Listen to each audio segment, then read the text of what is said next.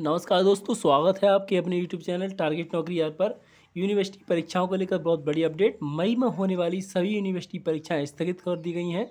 और देखिए यूनिवर्सिटी परीक्षाओं को लेकर एक मीटिंग होगी और मीटिंग के बाद ये फाइनली डिसीज़न लिया जाएगा कि प्रमोशन मिलेगा या नहीं मिलेगा। सभी स्टूडेंटों को प्रमोशन यानी प्रमोट किया जाएगा या नहीं किया जाएगा। इसको लेकर एक मीटिंग होने वाली है। जैसे कि जो मीटिंग हुई थी सीबीएसई बोर्ड की परीक्षा स्थगित करी गई हैं, टेंथ की स्थगित और जो ट्वेल्थ की भी स्थगित कर दी गई हैं। ठीक है तो और टेंथ में जो है प्रमोट किया जाएगा बच्चों को। तो इसको देखते हुए पहले मीटिंग हुई, उसके बाद ये निर्णय लिया। तो यूनिवर्सिटी की भी जो है प्रमोट किए जाएँगे छात्र और मीटिंग एक दो दिन में होने वाली है। ठीक है तो आप कितने बच्चे प्रमोशन चाहते हैं?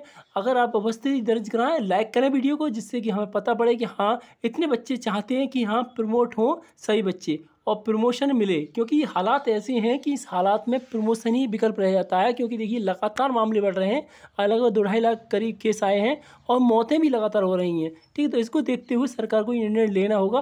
फ़िलहाल परीक्षा स्थगित की हैं, आइए स्थगित परीक्षाओं पर चलते हैं पहले। देखिए यहाँ पर न्यूज़ है, बीस मई तक सभी चीज़ स्थगित कर दी गई हैं।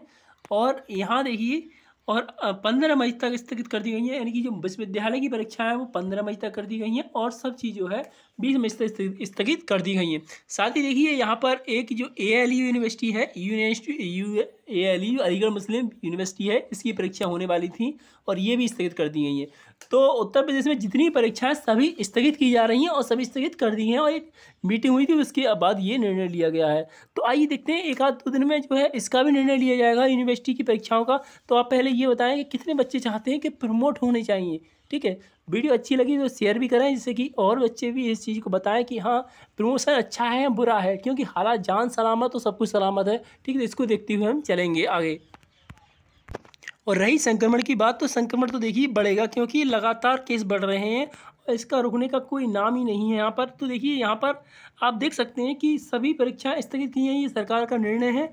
अब बस प्रमोशन का बात है कि प्रमोशन, प्रमोट होने चाहिए, नहीं होने चाहिए, ये सभी छात्र बताएँ और जो है इसकी उपस्थिति दर्ज कराएँ अपनी लाइक कर कर वीडियो।